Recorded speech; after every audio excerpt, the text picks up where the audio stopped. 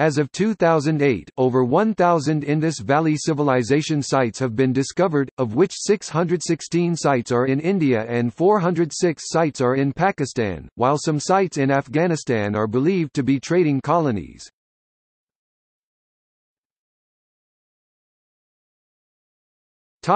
List of modern discoveries.